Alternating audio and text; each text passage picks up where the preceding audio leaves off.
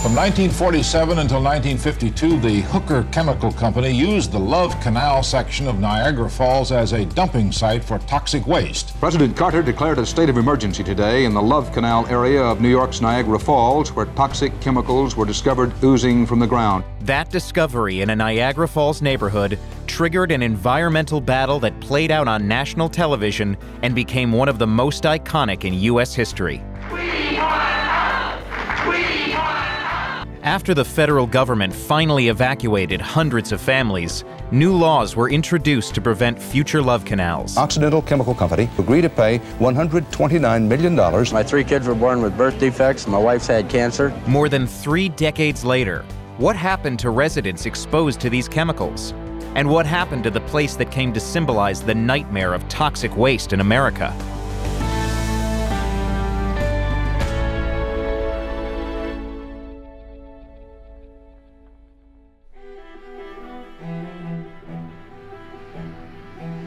In the spring of 1978, a Niagara Falls housewife read a newspaper story about her neighborhood, known as Love Canal.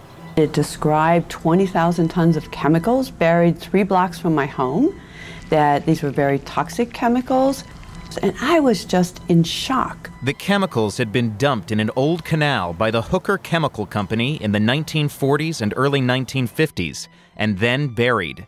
Now, they were leaking into some of the homes closest to the canal. For several years, chemicals have been seeping into the basements of a number of houses, including this one.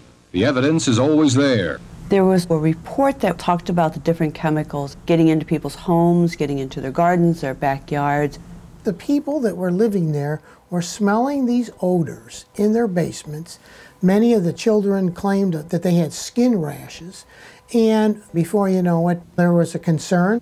There have been instances of birth defects and miscarriages among neighborhood families. The state had been testing the neighborhood's air, soil, and groundwater and made an announcement for the homes closest to the canal. The New York State Health Department recommended that pregnant women and children under the age of two immediately move out of the area. How many chemicals have been identified as being underground here? So far, we know of 88 specific chemicals that, are, that have been identified. And of those 88, how many are suspected of causing cancer? I think the number is 11. You could see the fear on some of their faces today as men, women, and children gathered for blood tests to determine whether those here have developed abnormalities. I am really, really afraid. Uh, we have decided we're going to get out one way or another. But right now, you know, you just can't jump, and where, where are we going to go? We were a working class community. We didn't have money to just up and move and abandon our house.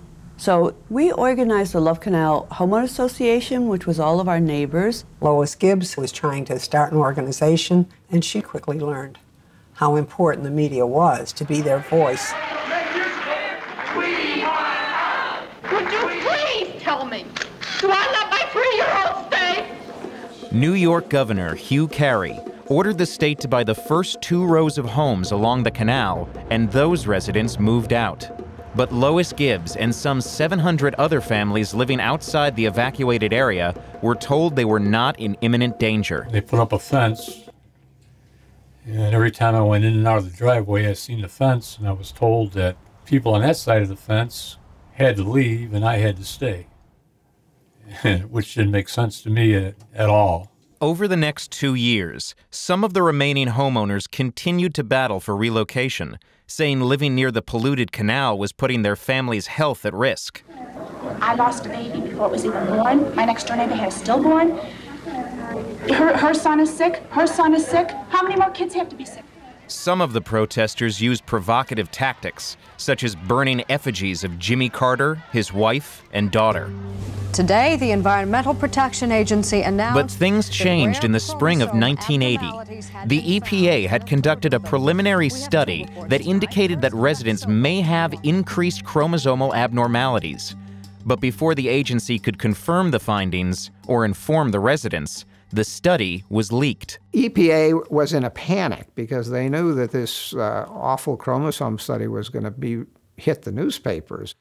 So they had an emergency team rush out to Niagara Falls to talk to these people. We found two particular characteristics in this study which are ominous. Environmental Protection Agency had done some blood work on some residents, and they said they had an unusually high number of chromosome breakages and higher risk of cancer, birth defects, or genetic damage in our children. People gathered at the Love Canal homeowner's office and they started shouting and screaming. So when, when the EPA officials came over, um, the residents were so angry that they decided that if it's so safe to live at Love Canal, these two officials can live here and they're not going to get evacuated until we get evacuated. The standoff lasted just five hours, but the point was made. President Carter was running for reelection. This was making headline news across the country. As a result of that sit in and that protest and those hostage holdings, the uh, federal government agreed to evacuate everybody at Love Canal, buying their homes. So we were out. The residents of Love Canal celebrated today. We got relief, we got safety, we got, we got our lives back. 700 families started leaving Love Canal this afternoon. It was the moment. It was the moment of relief in a sense that we're free. Remember that we stood up up here at Love Canal, ordinary, law-abiding people, and we weren't afraid. Following the evacuation, Gibbs became the public face of a movement to clean up toxic waste dumped by companies across the country. To deal with this pollution, Superfund legislation was enacted. Superfund was established so if another Love Canal came on the horizon, there would be money there. You could go in, you could do the testing, you could do the cleanup, and then you could go after the responsible parties. While sometimes criticized as costly and bureaucratic, Superfund has led to the remediation of nearly 400 toxic sites.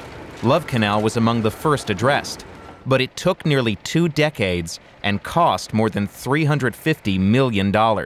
Because the landfill turned out to be too big, too toxic, and too expensive to move, it was capped in clay and surrounded by a drainage system. And it was a black eye when it occurred in the late 70s. But the community came together and realized that the stigma from what took place was starting to diminish. So in 88, a decision was rendered that the area was suitable for rehabilitation. The city wants to put Love Canal behind it. It's given Niagara Falls a pretty bad name, and we don't think we deserve it. Although the area around the old landfill was fenced off, homes in the surrounding neighborhood were refurbished and offered at below market price. Nearly all the homes found a buyer. I just read about Love Canal, you know, up in Niagara Falls. I remember Love Canal. 15 years ago, they had to move everybody out because yeah. of the toxic yeah. waste. Now they're selling homes there again. I didn't. I wasn't aware that they're selling homes there. Well, don't you think we could pick up something kind of cheap? The repopulation was met with protests by activists, including Lois Gibbs, who said the area was still not safe. They never took any chemicals out. The 20,000 tons of chemicals still remain in the center of Love Canal. I think there's a legacy of doubt because people think that someday the landfill will leak. But we have monitoring wells around this site. So red flags would go up if there was a problem. The homes around Love Canal, especially the homes that were rehabilitated where people are living in them today, it's probably one of the safest places on the planet to live. But what happened to the residents who lived there 35 years ago? The leaked EPA report was a preliminary study. A follow up study revealed that Love Canal residents had no higher rate of chromosomal abnormalities than the rest of Niagara County. Over the years, some studies have indicated a higher rate of birth defects and some cancers among former residents. But a direct link between the leaking canal and the long term development of serious diseases has not been established. To find out what hurt a relatively few people because of the myriad of environmental insults that are around. It's almost impossible to do. These are intrinsically difficult problems to evaluate scientifically. I was diagnosed with pancreatic cancer three years ago. And uh, I'm stage four cancer. It's uh, went to my liver. I worked at chemical plants. I was exposed to Agent Orange. I lived in a Love Canal. I don't know where my cancer comes from.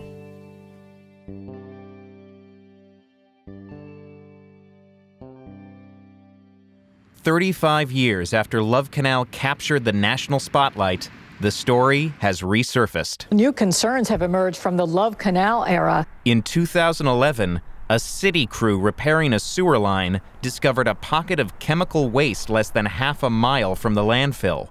State and EPA investigators said there was no danger. The waste was isolated, had not leaked from the landfill, and was believed to be left over from the original cleanup. But six families in the surrounding neighborhood have filed lawsuits. They say the discovery exposed them to harmful chemicals and now believe the landfill itself is not properly contained and is damaging their health. The battle over Love Canal continues.